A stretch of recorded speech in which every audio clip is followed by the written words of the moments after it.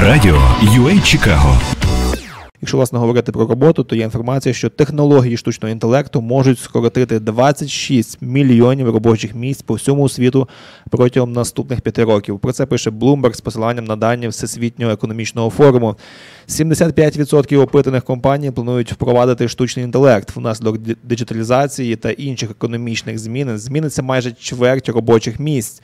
Власне, скоро- е, скорочення торкнеться фахівців, які працюють на адміністративних та облікових посадах, продавців, операторів ведення даних, бухгалтерів.